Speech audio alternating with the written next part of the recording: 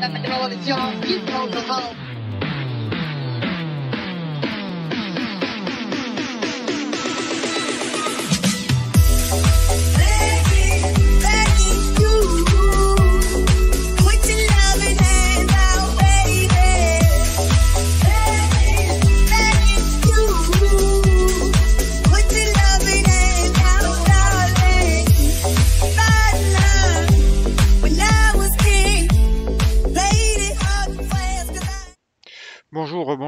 et à toutes pour ce Forex Presso, un marché d'échange complètement dans l'attentisme euh, entre euh, hier euh, les minutes de la fête qui n'ont pas donné de nouvelles informations sur le resserrement monétaire qui commencera en mars et aussi des nouvelles plutôt rassurantes du côté euh, des tensions entre l'Ukraine et la Russie, mais rien de bien nouveau puisque les Occidentaux restent extrêmement méfiants face aux messages euh, de, euh, aux annonces de retrait euh, des troupes russes, ou en tout cas de retour sur les bases des troupes russes. et cette nuit, avec des informations contradictoires qui sont venues d'Ukraine. donc, pas grand-chose de nouveau, et on voit bien les opérateurs qui sont vraiment dans une phase de très grande hésitation et quand ils sont dans une phase euh, d'hésitation, ils ne font rien et euh, sur, du coup, il ne se passe pas grand-chose sur les marchés actuellement, sur le marché d'échange actuellement. On va euh, voir tout ça en graphique. Avant ça, l'avertissement sur les risques.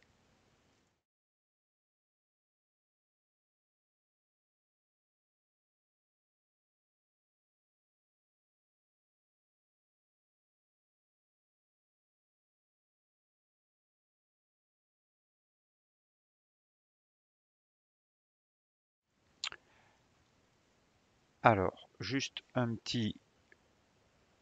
Je vais mettre mes... Voilà. Mes écrans en phase. Donc, vous avez, comme d'habitude, le euh, l'indice dollar euh, à l'écran euh, qui vous voyez donc cette mèche haute ici qui correspond à la matinée.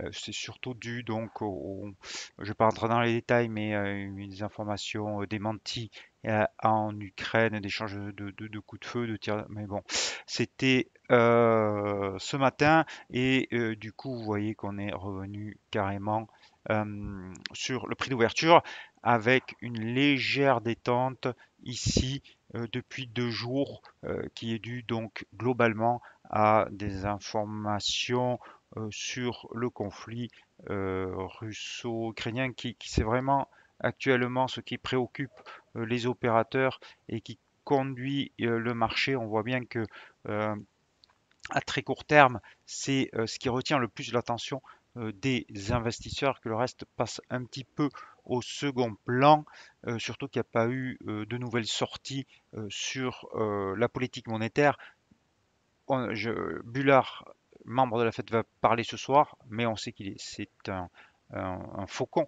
euh, parmi les membres euh, de la Fed.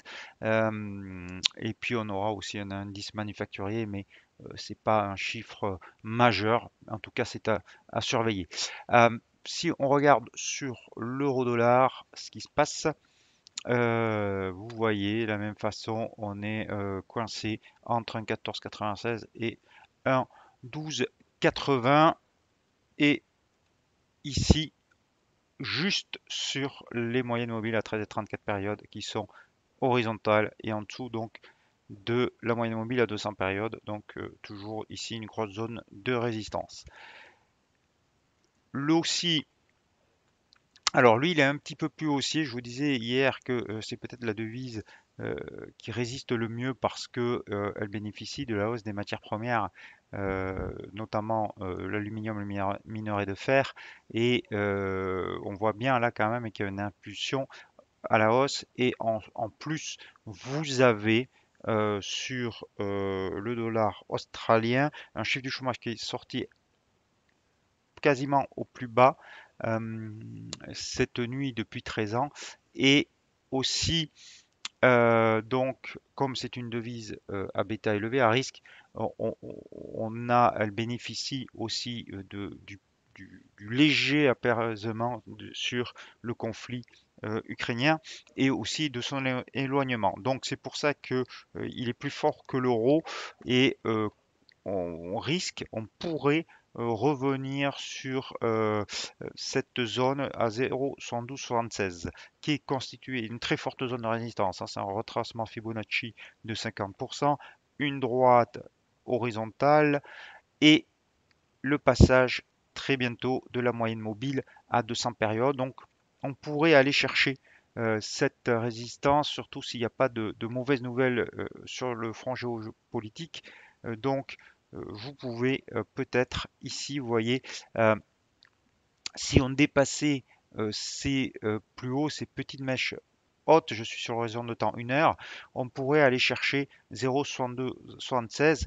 Le problème, c'est où est-ce que vous placez votre stop. Si vous le placez sous le dernier creux, vous êtes un peu loin par rapport à l'espérance de gain.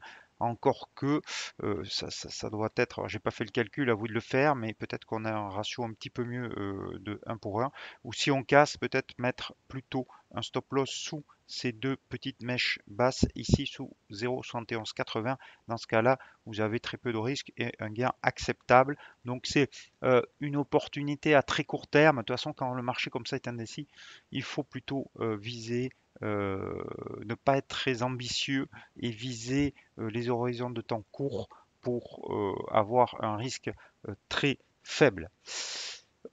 Sur les devises majeures, le dollar yen, alors je vous disais hier qu'il était plutôt haussier, est encore resté au-dessus de l'oblique ascendante ici, de court terme, mais malheureusement, et malheureusement on est en train de casser. Alors certes, on n'est pas en clôture, mais c'est pas très très bon signe. On est toujours au-dessus de ce petit support à 114,90. Euh, donc, on peut garder un avis positif tant qu'on est au-dessus de ce euh, support horizontal, mais euh, la cassure est, pas de bon augure. Et je ne sais pas si certains de vous sont passés acheteurs, mais ça risque d'être chaotique pour revenir sur 116,36. En tout cas, c'est une idée que j'abandonnerai si on passait sous 114,90. Euh, on peut aller voir le câble parce que le câble il se réattaque enfin la moyenne mobile à 200 périodes et pour l'instant vous voyez qu'on l'a touché ce matin et qu'on aurait encore en dessous. Mais la journée n'est pas finie et euh, cette moyenne mobile à 13 et 34 périodes de court terme s'oriente à la hausse euh, petit à petit. Donc peut-être qu'on va finir par enfin dépasser cette moyenne mobile à 200 périodes. En tout cas, euh, on a un support ici à 1,3495 et comme je vous le disais hier, je me positionnerai pas à la vente sur cette paire de devises parce qu'il y a quand même encore un nouveau test et, des signaux de, force, en tout cas euh, des signaux qui pourraient euh, amener enfin au dépassement, mais pour l'instant ce n'est absolument pas le cas, donc c'est une devise à surveiller.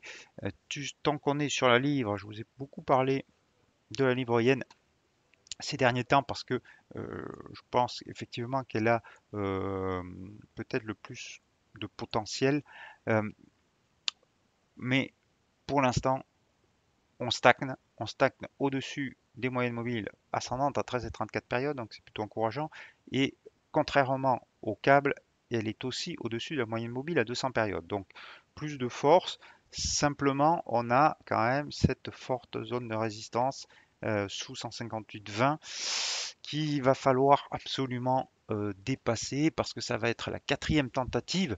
Euh, vous voyez ici, une fois, deux fois, trois fois, même si je remonte, il y, a, encore plus de tentatives et donc de dépassement de cette zone. Et donc il va falloir avoir une, un franchissement, une clôture au-dessus pour viser, alors sur le long terme, 163,90. Hein, là, on aurait un, trade pour du moyen terme, contrairement donc au petit trade sur l'OSI que je vous ai proposé. Le kiwi, le kiwi revient sur cette droite de polarité en ayant ici un creux ascendant. Euh, donc peut-être que c'est un signal que la baisse est terminée ou en tout cas euh, on a un nouveau support ici euh, qui sur 0,6590 qui nous indique que avec ce creux ascendant que à minima on rentre dans une période sans doute de latéralisation des cours. Donc on attend euh, une hausse des taux hein, sur, le, sur, kiwi. Euh, ça fait longtemps qu'on l'entend, mais là, apparemment, ça se précise. Euh, donc, c'est pour ça qu'il est, qu'il est soutenu. donc, si on venait à dépasser cette droite de polarité sur 0,6735, on pourrait avoir un retour sur cette forte zone de résistance, euh, droite de polarité, mais aussi bientôt passage de la moyenne mobile à 200 périodes euh, sur 0,68, 68. Donc euh, là encore, comme sur le câble, c'est un niveau à surveiller qui pourrait offrir un potentiel, un trade potentiel de moyen terme. Donc si je résume je vais revenir vers vous. Voilà. Euh, si, je si, je résume euh, le, marché, donc un marché très attentiste, mais on se rapproche quand même sur certaines devises de niveau qui pourraient déclencher des trades de moyen terme. Euh, un petit, peut-être un petit trade court terme si vous, si vous croyez au retrait des Russes, comme ils le disent, mais les Occidentaux n'ont pas l'air d'être euh, super convaincu. Donc un petit trade peut-être sur, sur l'OSI, mais sur d'autres paires de devises, le Starline, le câble et le Kiwi, on pourrait avoir dans les prochains jours des dépassements de, résistance assez importantes qui offriraient donc des, des trades potentiels sur du moyen terme c'est ce que, en tout cas, euh, je vais surveiller. Et euh, bien sûr, on en reparlera lors du Forum Expresso, à commencer par demain. Je vous souhaite à tous et à toutes un très bon après-midi, de très bons trades. N'oubliez pas vos stop loss.